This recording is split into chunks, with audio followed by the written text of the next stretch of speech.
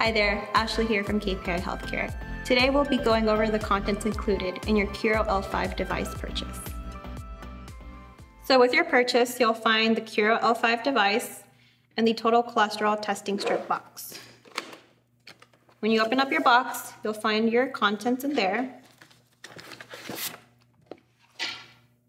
And you'll find your user manual, the quick reference guide, your warranty card, and your logbook. In the case, you'll find your Curo L5 device, your lancing device, and on the inside of your pocket, you'll have the batteries,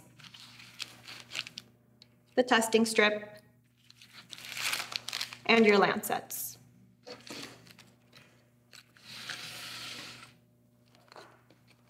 For your total cholesterol testing strips, you're going to find the RFID bottle, which contains the testing strips, and your capillary rods for blood sample collection.